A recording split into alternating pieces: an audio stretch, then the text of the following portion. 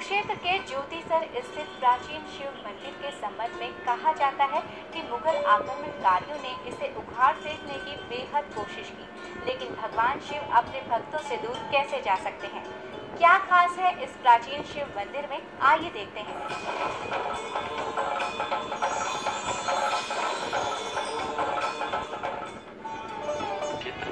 सभी मंदिर बहुत ही प्राचीन है, लेकिन यहाँ एक ऐसा मंदिर भी है, जो अति प्राचीन शिव मंदिरों में से एक है।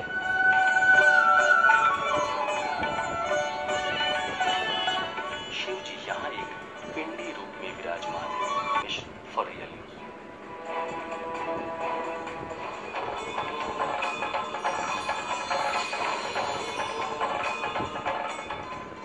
शिव सर्वे सर्वा है। सर्व शक्तिशाली है। कहते हैं, भगवान शिव के दर पर जो भी आता है, वो खाली हाथ नहीं लौटता। आज हमने आपको कई धार्मिक जगहों से रूबरू करवाया। आगे भी आपको ऐसी ही धार्मिक जगहों से रूबरू करवाते रहेंगे। आज के लिए बस इतना ही। उम्मीद करते हैं आपको हमारा ये खास कार्यक्रम ज़रूर पसंद आया होगा। भगवान भोलेनाथ आपकी हर मनोकामना पूर्ण करें।